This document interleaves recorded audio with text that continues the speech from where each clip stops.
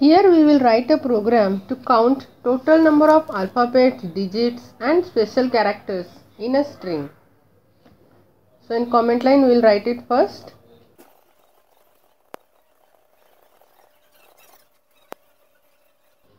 For this we will declare one method count string. We will declare one string variable to accept the string from the user and one integer variable to calculate the length of a string. Then we will accept the string. In S1 we will accept it. And we will declare three variables. One for counting the alphabets. Then digit. And special character and all these variables I will initialize with 0. Then in L1 I will store the length of a string and I will use for loop for int i equal to 0 i less than L1 and i plus plus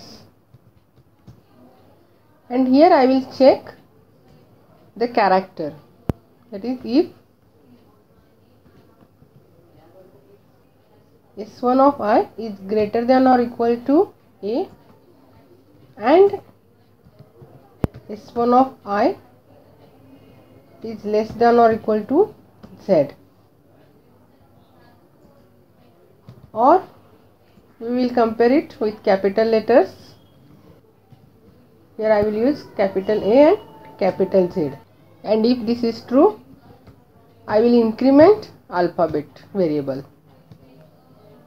Then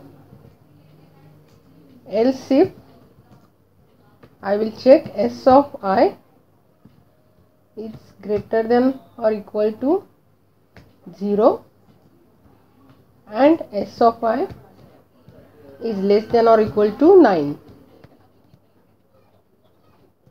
then I will increment digit. And else if both conditions are false I will increment the special character. And after for loop I will print it. Total alphabets. ELP then I will print total digits DGT and total special characters SP. In main method we will call this method count string and we will execute it. It will ask for enter string. I will enter string welcome to dot home then it will print total alphabets 11 total digits 1 and special character 1 that is dot